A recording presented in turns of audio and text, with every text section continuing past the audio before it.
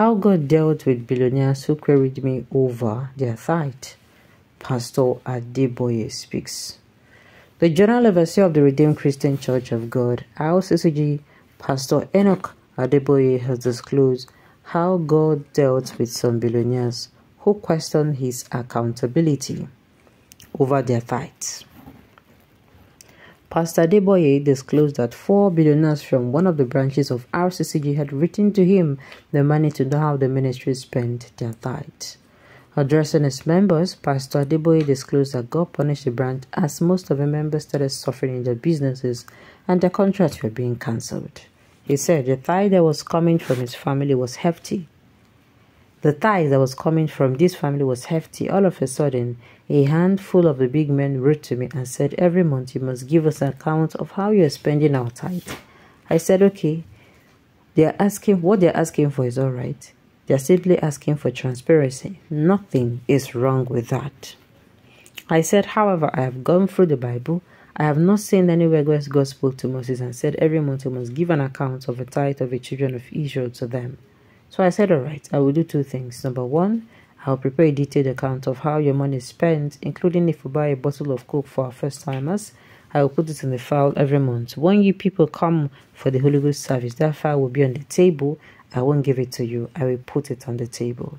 Anyone who wants to see it can go and read it. But make sure you wait till I've left the room because everything we are doing on earth is being recorded in heaven. I don't want my God to say you are the one that handed it over to them and you are there when you are reading and I did it.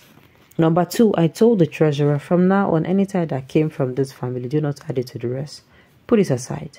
Let me find out if the God who sent me can run this church without these people's contributions. So, for two separate years, every kobo that came from this family was kept in a separate account. It was when Abu Abba came from Ibadan. I sent him there and then and then after he had been in the church for some months, he came to me. He said, the people you asked me to go and join are complaining that things are not going well and they have found out that they offended me and that is why their contacts are being cancelled and all manner of things are happening. I said, we're not quarreling and God knows I wasn't quarreling. I just ignore it. He then said, when you knew when you knew this was a problem, why did you send me there? I said I didn't know anything was happening. I just want to know how gracious God can be to me then be reconciled. It wasn't everybody that offended me. It was a handful of people who thought that they were clever than God and brought problems to everybody. It will interest you to know that every one of those involved in that group is no longer in the church and they are not where they ought to be. Let me just put it like that. Well, um, I don't know, but I'm going to chip it in. Number one, accountability is supposed to be everybody's watchword. Just listen to me, don't crucify me yet. But it is wrong for you to come out say because you give tithe to the church. You want to know how it is spent. That means say you know they give tithe to God. Because giving tithe is a godly, is a godly, uh, what's it called, command. And they don't put uh, a gun for your head. Do. Not be at gunpoint. Do you understand? They are not saying you must give it to whether you are alive but they are not alive. You must give it out. Do you understand? Nobody is coming to say that at all.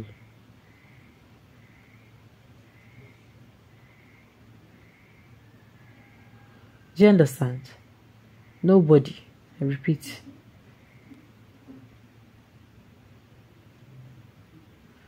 At the end of at the end of everything,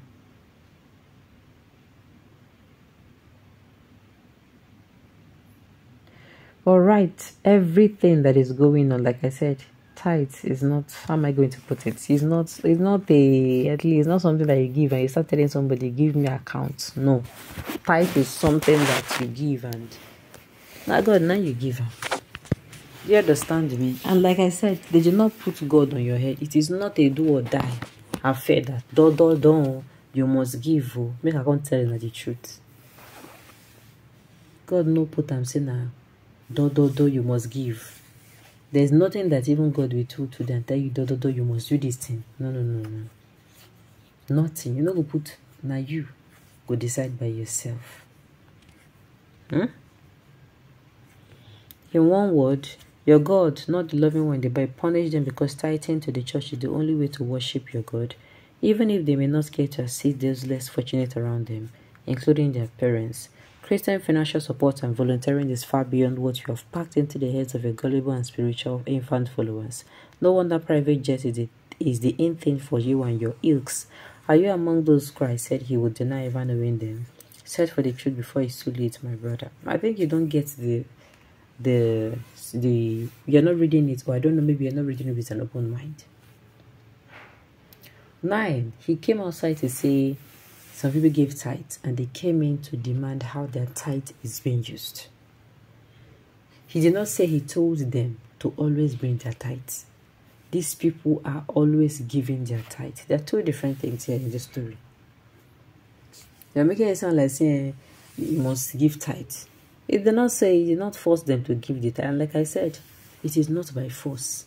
Tithing is not by force giving to giving to the church or giving to the Lord, it is not by force. Do you understand me?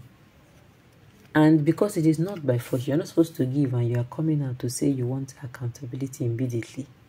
You are not supposed to say that at all. At all. You are not.